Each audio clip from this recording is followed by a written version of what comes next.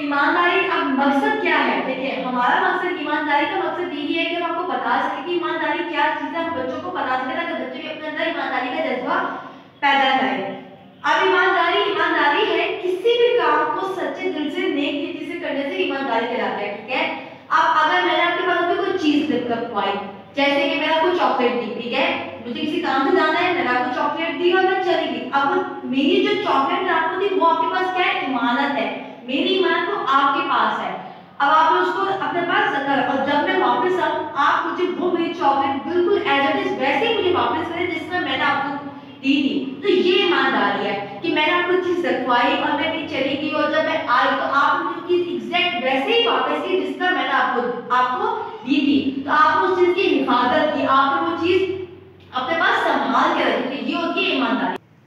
हमारे प्यारे नबी हज़रत मोहम्मद वसल्लम हर काम ईमानदारी से करते थे। उन्होंने लोगों को भी यही तलकीन की, यही बोला कि हर इंसान ईमानदारी से काम करे। चाहे इसमें आपको कमी हो, ज़्यादा हो, लेकिन आप ईमानदारी से ही बोले। अपनी लालच के लिए कि नहीं, अगर मैं थोड़ी सी गद्दारी कर दूँ थोड़ा गलत बोलूँ तो मुझे कुछ ज़्यादा मिल जाएगा, गलत। ये अगर आपको कम भी मिलता है, लेकिन आप सिर्फ़ ईमानदारी से काम करें। हमारे नबी हमेशा हर काम ईमानदारी से किया करते थे, और उन्होंने मुसलमानों को भी यही तरकीब की है कि हम हर काम ईमानदारी से करें। ईमानदारी एक अच्छी आदत है, ठीक है? ईमानदारी आखिरत में हमें जहनुम की आग से बचाने के काम आएगी। यही ईमानदारी होगी जिससे हम जहनुम की आग से बच सकेंगे हमारे नबी हज़रत मोहम्मद वसल्लम हमेशा ईमानदारी से काम करते थे, तभी पूरे अरब के लोग उनको सादिक और आमीन के नाम से बुलाते थे। इवन के जो दुश्मन थे, वो भी हमारे नबी नबी नबी पाक वसल्लम की दियामतदारी उनकी ईमानदारी की, उनकी ईमानदारी की गवाही देते थे। हज़रत मोहम्मद वसल्लम ने फरमाया, जिसके अंदर ईमानत नहीं, उसके अंदर ईमान नहीं। क्या मतलब है इसका? कि किसी इंसान का किसी इंसान के अंदर इमानत नहीं। हम उसको कोई चीज़ दे, वो अपने पास रखवाए उसको खयाल कर दे उसको खा ले, किसी और तो ये चीज़ खयाल होती है। तो जिसके अंदर इमानत नहीं है, वो ईमानदार शख्स नहीं है, ठीक है? अब मैं आपको यार छोटा सा वाक्य सुनाती हूँ। हमारे प्यारे नबी हज़रत मोहम्मद वसल्लम के पास एक दफ़ा एक ताजिर आया। उन्होंने एक गला बेच रहा था। उन्होंने वापस वसल्लम को गला दिया कि आप गला क्या होता है? एक एक गला होता है मट्टी का मटका, उसमें कुछ भी मतलब चीज़ हो सकती है, जैसे गंदम दाल, चावल, इस तरह, ठीक है? अब वो उन्होंने हजू पाक कहा कि आप मुझसे ले रहे जायद करता था, उनको बेचना चाहता था। हजू पाक ने वो लिया, उसमें हाथ डाला तो वो गीला था, ठीक है? वो बहुत गीला था तो हजू पाक हजू पाक सल्लल्लाहु अलैहि वसल्लम उनसे पूछा कि ये गीला, अब देखिए, कोई चीज़ गीली होती है तो उसका दाम भी बढ़ जाता है। अब उसका वज़न बढ़ गया तो उसका दाम भी बढ़ गया, वो और ज़्यादा महँगी हो गई। तो हजू पाक सल्लल्लाहु से पूछा कि ये गीला क्यों है तो ताजिर ने कहा कि बारिश हो गई थी तो ये बारिश में भीग गया था। तो हजूर पाक तो अगर ये भीग गया था तो तुमने उसको नीचे क्यों रखा उसने ना उसको नीचे रखा था ताकि मतलब कोई भी आए मतलब अनदेखे में ले ले। अगर कोई ऊपर आता तो हम ना छानबीन करते हैं चीज़ों की इस तरह से। तो मतलब कि वो धोखा करना चाह रहा था। वो चीज़ों के अंदर मिक्स करके देना चाह रहा था कि तुम्हें धोखे से दे तुम ज़्यादा कीमत में, ठीक है?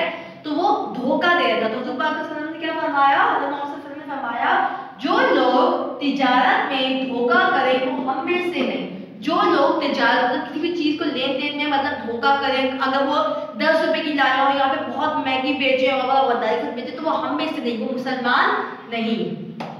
सो तो निसा में अल्लाह ताला ने इरशाद पारी ताला है, बेशक अल्लाह बेशक अल्लाह तो लोगों को फरमाता है कि पहुँचा दो ईमान ईमान इमानत वालों को। अल्लाह ताला क्या फरमाते हैं कि आपके पास जिसकी भी इमानत है, आप उनको उस शख्स तक उसकी इमारत पहुँचा दो। हमारी ज़िंदगी अल्लाह की इमारत है ठीक है? हम हाँ, ज़िंदगी किसकी है? अल्लाह की इमारत है। अल्लाह ताला हमें दुनिया भेजा था कि हम नेक आवाज़ कर सके नमाज़ पढ़े कुरान पाक पढ़े दीन की तरफ़ जाए लेकिन हम इस इस दीवी इमारत वाली ज़िंदगी को हम कायम कर रहे हम नमाज़ नहीं पढ़ते हम कुरान नहीं पढ़ते हम लोग लड़ाई झगड़े करते मतलब हमने जो करना चाहिए जिस मकसद के लिए हम दुनिया में आए वो हम नहीं करे बाकी सब हम बाकी सब हम गलत काम कर रहे हैं ठीक है? तो अल्लाह क्या फरमाया? बेशक अल- बेशक अल्लाह तुमको फरमाता है कि पहुँचा दो इमा- इमानतें इमारत करने वालों को क्या आपके पास जिस जिसकी इमारतें हैं, आप उन तक उनकी इमानतें पहुँचा दो। हमारा जिसम एक ताला की इमारत है। ये ज़िंदगी अल्लाह ने हमें दी है, ठीक है? हमें इस ज़िंदगी को, अगर हम अल्लाह के बताए तरीके से ज़िंदगी गुजारे तो ये भी एक ईमानदारी है, ठीक है? हमें हर चीज़ अल्लाह के बताए हुए अहकाम के मुताबिक गुजारनी चाहिए। अब अब ईमानदारी के बारे में हम कुछ अहम बातें पढ़ते हैं। ईमानदारी, जायज़ तरीके से कमाना। जायज़ तरीके से कमाना क्या होता है? हम एक चीज़ खरीद के लाए हैं उसको जायज़ तरीके से आगे बेचे, को जो भी जिससे भी कमाते हैं, ठीक है? कोई कपड़ों की दुकान से कमाता है, कोई किसी चीज़ से कमाता है जिस चीज़ से कर हलाल कमाई होनी चाहिए बिल्कुल हलाल होनी चाहिए और जिस दाम में लाए, उस दाम में आगे बेचना चाहिए, ठीक है? हकूकुल इबाद पूरे हकूकुल इबाद पूरे करना, सारे जो हमारे हकूकुल इबाद है, उनको पूरे करना, लोगों को तकलीफ़ ना देना, सारे हकूकुल इबाद को पूरा करना। नंबर थ्री है, दूसरों के राज की मदद करना। राज। अब मैंने आपको एक राज बताया, एक अहम बात बताई, ठीक है? मैंने आपको बताई वो मेरी तरह से आपके पास इमानत है, आपको चाहिए उस मेरे राज का राज रखें। ठीक है? अब आपने मुझे कोई बात बताई मैं सिर्फ़ अपने तक रखूँगी। तो वो क्या होगी? कि ईमानदारी होगी। अगर आप मुझे कोई बात बताओगे, मैं जाके दस लोगों को और बता दूँगी, उसने मुझे ये बोलता ये बोलता तो ये खयानत होगी। ये ईमानदारी नहीं हुई, ठीक है? अच्छी नसीहत करना। किसी को अच्छी नसीहत भी करना, कोई अच्छी बात बताना, कोई गलत काम कर रहा उसको सीधी राह पे लाना, अच्छी नसीहत करना, अच्छी बातें करना सीधी राह पे लाना ये भी एक ईमानदारी है, ठीक है?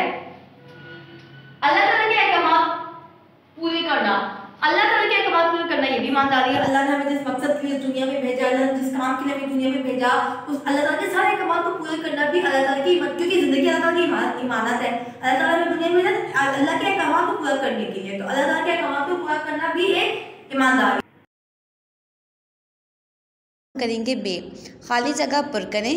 हर काम को नेक नियति सच्चाई और दयानतदारी से करना डैश कहलाता है। क्या कहलाता है? ईमानदारी। नंबर टू हज़रत मोहम्मद अलैहि वसल्लम अपनी ईमानदारी की वजह से पूरे अरब में डैश के लक़ब से मशहूर थे। अमीन। अमीन मतलब जो ईमानतदार होता है। तो आप वसल्लम किस नाम से मशहूर थे? किस लक़ब से मशहूर थे? अमीन। Now page number fifty number three is हमारी ज़िंदगी अल्लाह ताला की डैश है। हमारी ज़िंदगी क्या है? अल्लाह ताला की अमानत है। नंबर फोर वालदेन की गैर मौजूदगी में इनके अहकाम पर अमल करना भी डैश है। क्या है? ईमानदारी। नंबर फाइव जिसके अंदर अमानत नहीं, इसके अंदर डैश नहीं, ईमान नहीं। नम अब है नेक्स्ट एक्सरसाइज जीम मश नंबर जीम है, दुरुस्त फ़करात पर टिक निशान लगाएँ।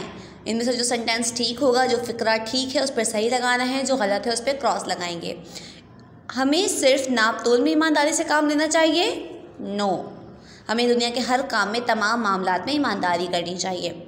ईमानदारी को अपनाने से अल्लाह ताला खुश होता है? यस टिक लगाएँगे। ईमानदार इंसान हमेशा नुकसान उठाता है? नहीं.